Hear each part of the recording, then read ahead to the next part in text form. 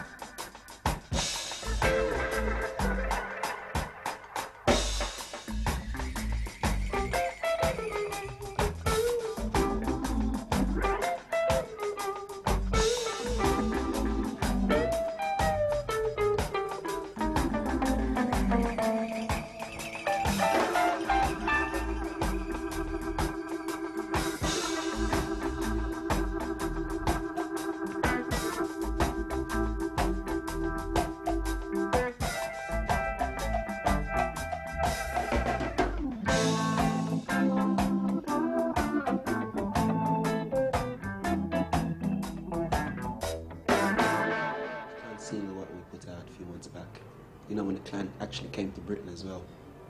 And many people sort of thought that we put those single out just to react to the Klan's um, arrival in Britain. But the song was actually written a year before they came.